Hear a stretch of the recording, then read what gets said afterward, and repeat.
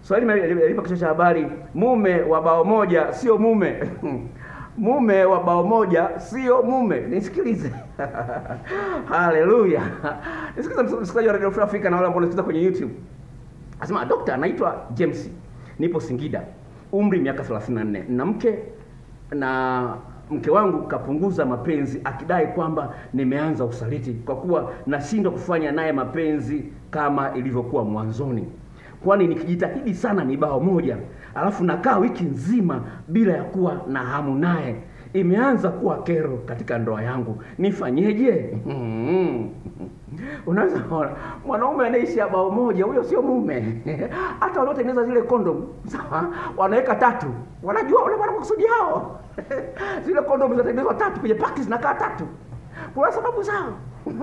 Sio wajinga kuweka kondom tatu. Haleluya. Haleluya. Kwa hiyo mwanaume usikubali kuishia goli moja. Sasa utamfaidi vipi wewe mwanamke? Ili ufaidi mwanamke lazima upige goli nyingi, rahisi kabisa mwepesi. Ukitoka unaenda kazini, mwepesi unaenda unaendesha gari unaimba tu Mungu yu mwema yu mwema. Wanaimba kwenye gari yangu nikiwa naendesha naenda kazini. Kila siku asubuhi naweka mwimbo naimba kunaendesha gari. Utamu wa kumfaidi mke wako. Ukijua jua njia za kumfaidi mke wako, yani yani utakuwa ni mtu kuchekacheka tu. raha nyingi. Sawa, teko wanaambia wewe daktari nayo umezidi kuchekacheka. Ah ah, na raha nyingi. Sio kutafuta. Wewe la ambako itafute. Mimi la ipo tu saa zote bado utachekacheka tu kwa sababu nalaa nyingi. Kwa hiyo jambo la msingi mwanaume utafute njia. Kwa hiyo kama ulipigia ulipitia masturbation unaita kujichua punyeto, unahitaji dawa maalum ambayo nayo itakusaidia kuweza kuliondoa hilo tatizo. Gharama yake shilingi elfu thelathini.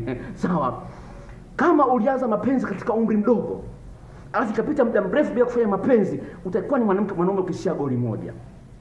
Hilo lingine sawa. Lingine kama unavuta sigara sawa au kama una una una, una, una, una, una kazi yako ina involve inahusisha kukaa chini kwa muda mrefu unaendesha pikipiki au baisikeli kwa muda mrefu au unakaa ni dereva wa magari au ni fundi cherehani unakaa kwa muda mrefu hilo tatizo lazima litakukuta. Kwa hiyo kuna tiba yake maalum gharama yake shilingi 30 tuwasiliane niliondoe hilo tatizo. Kwa sababu wewe mwenyewe mwanaume ndio umeleta hii kesi. Kwa hiyo napenda nikwambie huko Singida Singida nakutumia kwa mabasi nitakwambia ni basi gani nitakupa namba ya simu ya dereva. Tuwasiliane nikusaidie. Hii ni Radio Free Africa inakuletea mambo matamu. Okay